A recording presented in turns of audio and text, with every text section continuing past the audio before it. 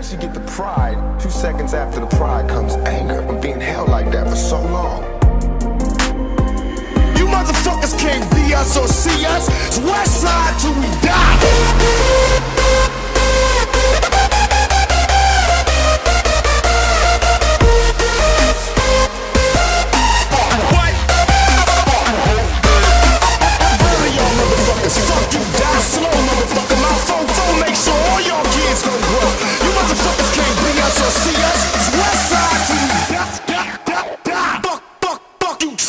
Mm-hmm.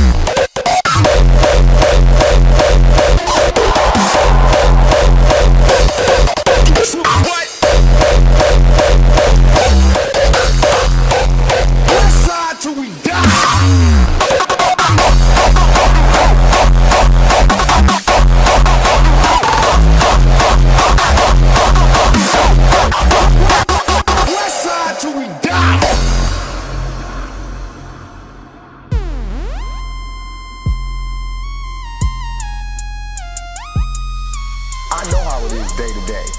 It's a constant man ego check going on in this street. Now I'm about to set the record straight. With my AK, I'm still the thug that you love to hate.